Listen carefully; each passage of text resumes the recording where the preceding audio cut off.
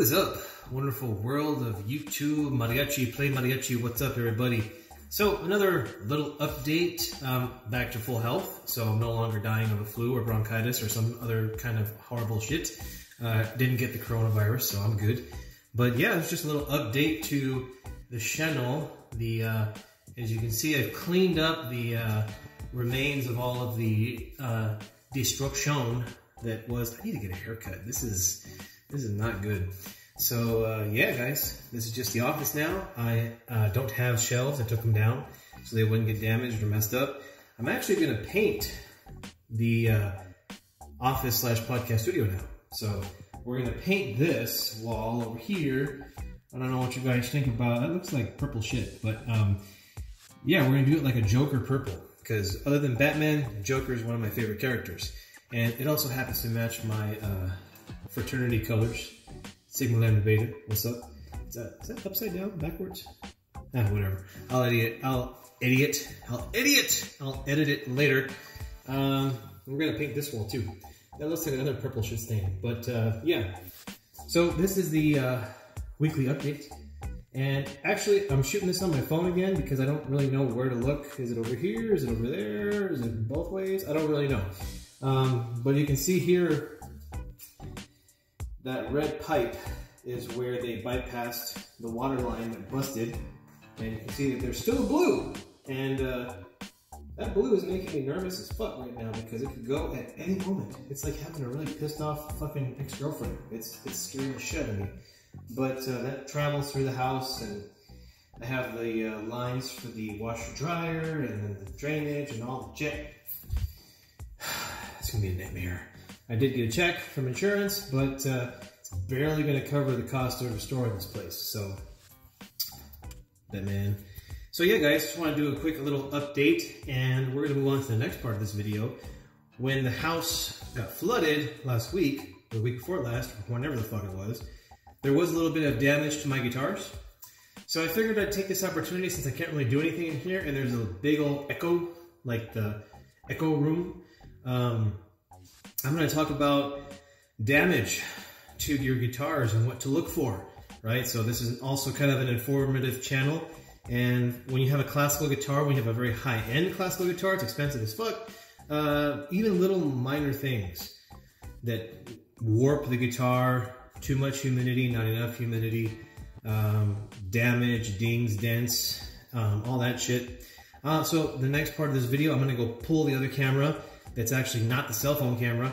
And I'm gonna just kind of go through things to look out for. You know, if you notice that your guitar isn't tuning correctly, if you're having trouble playing it, if you notice some warping, we're gonna we're gonna talk about all that shit. But uh, America, America, or just America. Um, so yeah, guys, let's get on with that shit. All right, so we're here back with the guitar. Um, this is one of the instruments that was in the room uh, when uh, the water came in through right over here from the water heater, flooded everything. And what I noticed about the guitar the next day when I had a chance to kind of just, you know, get my shit together, you know, is that uh, the top here has a little bit of a wave to it now. So let's see if we can see what I'm talking about. So usually when you see a guitar, turn my face, there's a top, right? And then as you go to the bridge where all the pressure is, I don't know if you can see, you know, what I'm talking about, but up here is a little more higher up than over here, which is a little more pressed in. That's because the pressure is going like this, and the wood, you know, theoretically, this is what I'm thinking. I could be wrong, I don't build these things, I just play them and talk about them, is the wood took on a lot of water moisture. Didn't have direct contact with the water. Actually, this one did. When I looked at the case, the case was kind of soaking wet. So the water may not have seeped all the way through, but there's a lot of moisture in there. And I live in Arizona, so it's not, it's a very dry climate. It can be hot and then cold, especially during the wintertime right now. And so when you have a lot of water moisture get into a very delicate spruce and um, cypress classical flamenco guitar like this one is, you're gonna have them problems. And I can just kind of see eyeballing it that that's what's been going on. You see that this is kind of warping right now. Now, I've been kind of letting it dry out a little bit, but what that's gonna mean, scoot back a little bit, what that's gonna mean is that as the wood dries from having all that extra moisture, it didn't have enough time to adjust, right? And then it's gonna dry rapidly. So what I noticed is that even though in the first position all the strings are tuned, it doesn't have quite the same, you know, still has that vibrant sound, it has volume, but it's like dead here, right? So I don't know if, um, if the braces are gonna be warped, that's one possibility, because the braces are what are taking on all the, the, the pressure and the structural integrity of the guitar, right? So the braces could have warped a little bit. They're very thin and they're made of spruce and uh, the top is solid spruce.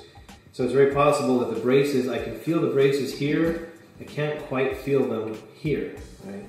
So the, the, guitar is supposed to fan like, uh, like that, right? The braces fan out.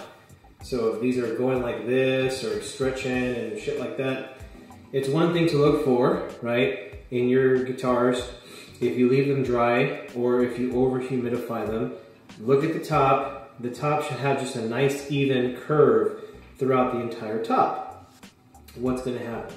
Well, the sound is gonna deaden a little bit. I'm not doing anything special. I'm not trying to fake this shit. Let's see what I can see. Can you see right here? Yeah.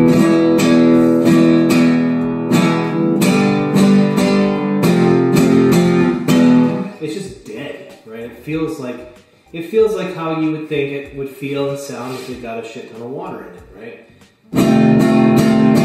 Like the basses, yeah, it's not good. A little more buzz. I don't know if that's the fret and the neck coming in a little bit, going this way, or if that's actually buzz that's happening inside the guitar. I'm not gonna know until I, you know, have it checked out.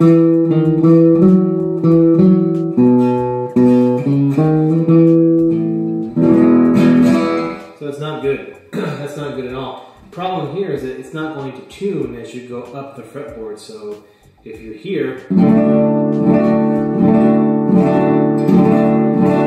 yeah, I hear, I hear a little buzz over here somewhere.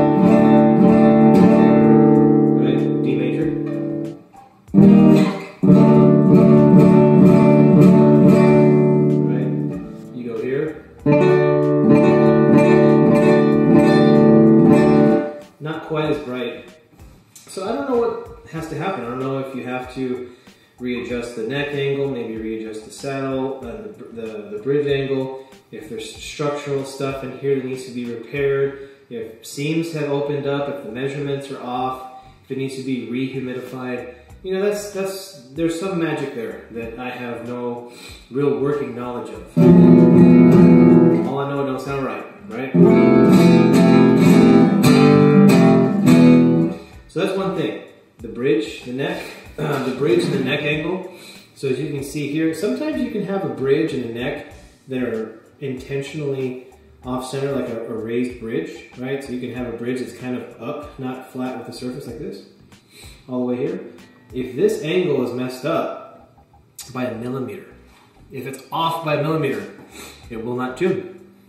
It just will not tune. You'll be either flat half a step or sharp half a step or even worse and it just will not tune, right?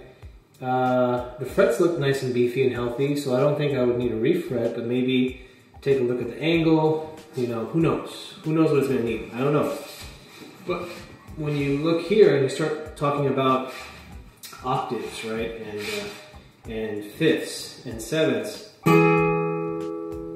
that's not a perfect fit. And again, my guitar is tuned, all the strings are in tune.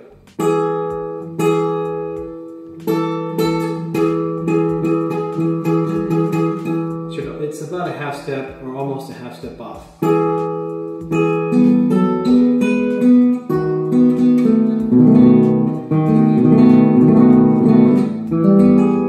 Right? It's not... Uh...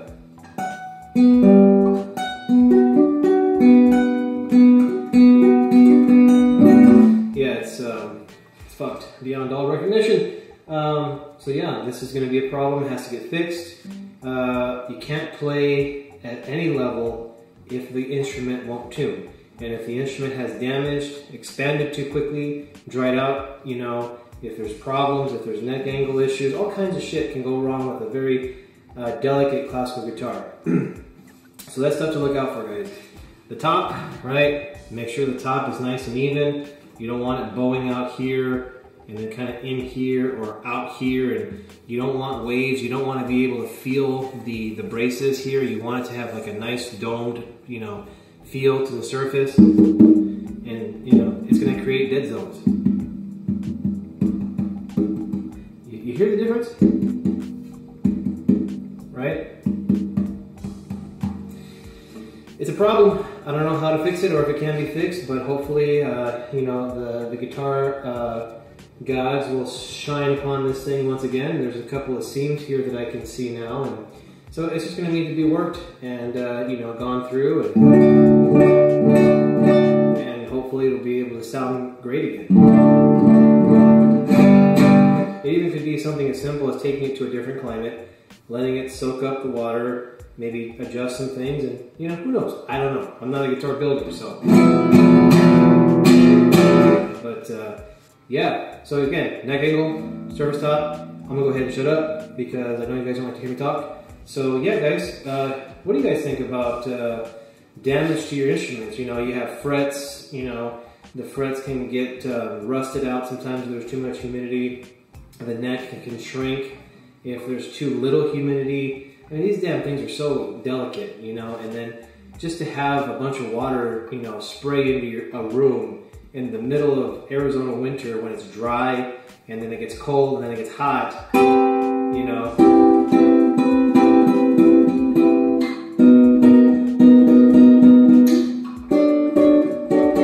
Yeah, it's, it's barely playable. So uh, yeah guys, hopefully uh, next time you see the guitar, it'll be coming back from the you know Candela's shop and it'll be brand spanking new and good as new and we'll be able to play it and go forward. So yeah.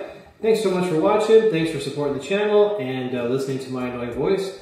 And uh, yeah, my office is still fucked up. I gotta fix it. I gotta get a contractor in here and start working on it. And I gotta pray that uh, we don't get a bunch of awas uh, back in the house. As in, awas way, your fucking house is flooding with water. Uh, let's not do that again. And thanks for watching, subscribing. Consider subscribing to the channel and uh, checking out the links below. And we'll see you guys next time.